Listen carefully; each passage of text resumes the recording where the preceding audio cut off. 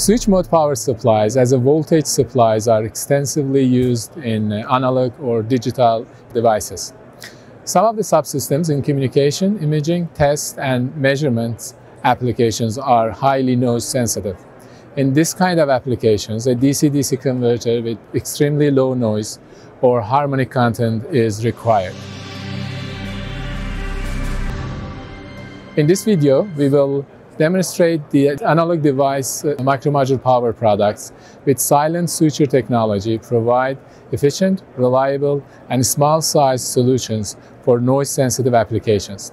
When it comes to switch mode power supplies, the noise and harmonic content and hence electromagnetic interference are concerns.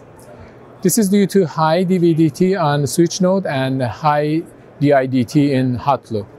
The high DIDT combined with the parasitics RLC of the hot loop leads to oscillation. Micromodule regulators with silent switcher technology deal with the cause leading to EMI.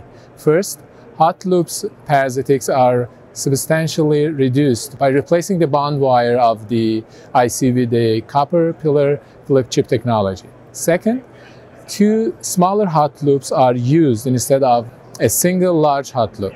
These two small hot loops with the contradicting magnetic fields confine the field in a specific area and prevent electromagnetic interference.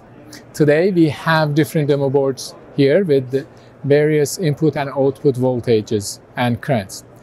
This demo board is for the LTM 8080. This micromodule regulator features a silent switcher regulator in front to efficiently step down the input voltage and two LDOs in back end separated by an EMI shield to provide an ultra low noise and ultra high PSRR voltage regulator in a compact package.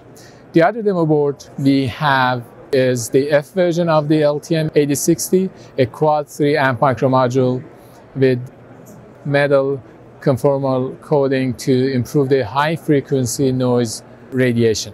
The other demo board I have here is for LTM 4702, which is a 8 amp step down micromodule from 16 input voltage. For more information, please visit analog.com slash micromodule.